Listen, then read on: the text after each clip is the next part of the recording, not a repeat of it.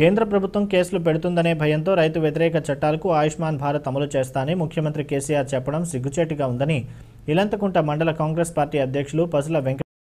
ఈ సందర్భంగా మాట్లాడుతూ రెండు సంవత్సరాల నుండి అమలు చేయడం లేదు ఇప్పుడు ఎందుకు అమలు చేస్తున్నారో చెప్పాలని కాంగ్రెస్ పార్టీ తరపున డిమాండ్ చేస్తున్నామని ఇట్టి కార్యక్రమాల్లో జిల్లా ఉపాధ్యక్షులు చిట్టి ఆనంద్ రెడ్డి దాట్ల వీరేశం జుట్టు